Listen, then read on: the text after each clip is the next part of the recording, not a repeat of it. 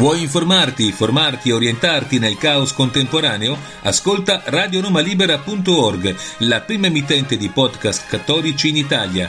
Per saperne di più visita il sito www.radionomalibera.org.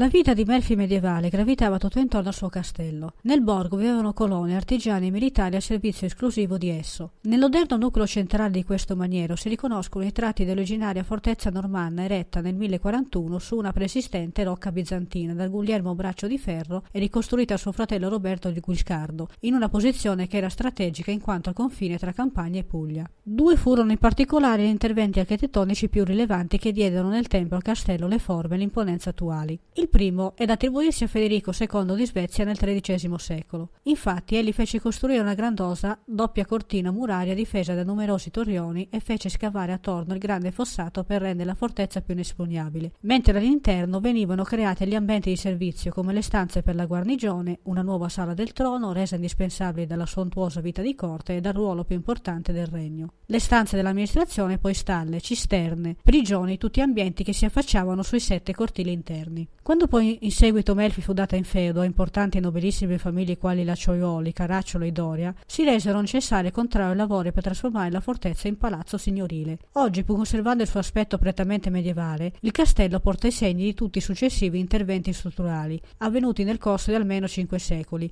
gli ultimi dei quali risalenti al Cinquecento. Ne risulta la mancanza di una planimetria unitaria e una molteplicità di stili. Nella sua forma attuale, infatti, il castello ha la pianta di un poligono irregolare con dieci torri, tre delle quali pentagonali e le altre quattro quadrate o rettangolari. Il castello di Melfi fu teatro di eventi storici durante l'era normanna e federiciana. Infatti a Melfi, sede della contea di Puglia, si tennero cinque concili ecumenici, organizzati da cinque diversi pontefici tra il 1059 e il 1137. Niccolò II, nell'estate del 1059, soggiornò nella rocca fortificata dove in giugno stipulò il Trattato di Melfi. Poi, dal 3 al 25 agosto, celebrò il primo concilio di Melfi e infine il concordato di Melfi riconobbe i possedimenti conquistati dai Normanni, nominando Roberto Guiscardo duca di Puglia e Calabria. Calabria. La città di Melfi, che attraversava un periodo storico importante, fu promossa capitale del Ducato di Puglia e Calabria. Poi Papa Alessandro II, dal 1 agosto 1067, presiedette il secondo concilio di Melfi. Ricevette il principe longobardo di Salermo, Gisulfo II e i fratelli Roberto Guiscardo e Ruggero d'Altavilla. Nel corso del terzo concilio di Melfi, nel 1089, Papa Urbano II, oltre ad esaminare questioni ecclesiastiche, come il celibato dei preti, esortò ad un pellegrinaggio armato,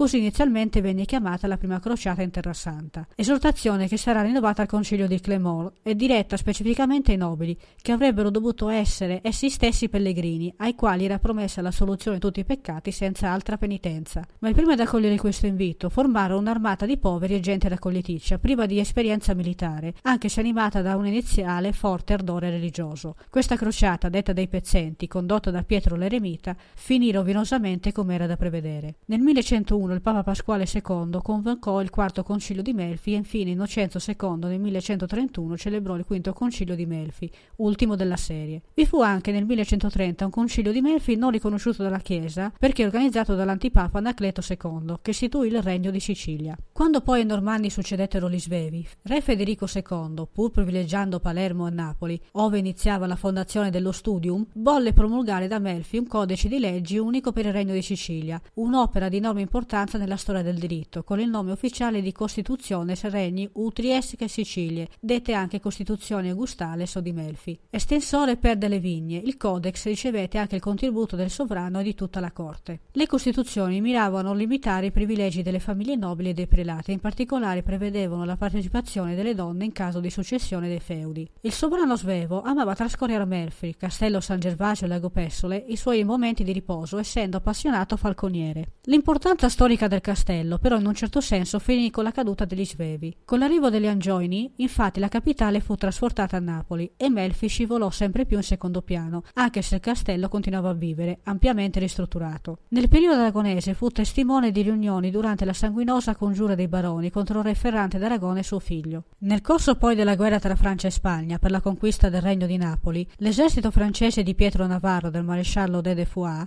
fu compiuto il cruento assedio di Melfi, passato alla storia come la Pasqua di sangue. La popolazione fu massacrata in gran parte e il principe di Melfi, assediato nel castello, si arrese. La città, saccheggiata e incendiata, fu abbandonata per mesi dai melfitani che ancora ricordano la fuga nel Vulture con l'annuale processione della Pentecoste. Gli aragonesi vincitori dovettero ricorrere a particolari incentivi per ripopolarla. Nel 1531 l'imperatore Carlo V donò il principato di Melfi a Filiberto di Charlone e poi al principe Andrea Doria assieme a 25.000 scudi. Dopo di allora la popolazione, oppressa dalle tasse, conobbe una crescente povertà, divenendo nell'Ottocento anche terra di brigantaggio. Nell'ultima parte del secolo scorso, Melfi ha iniziato a risollevarsi grazie alla presenza di alcune industrie. Il castello normanno svevo, donato nel 50 dei Dori allo Stato, ospita ora il Museo Nazionale del Melfese, sistemato nel sale del piano terra e conserva reperti archeologici a partire dall'epoca preistorica. Nella torre, vicino all'ingresso, è conservato il sarcofago di Rampolla, meraviglioso capolavoro opera di artisti dell'Asia minore.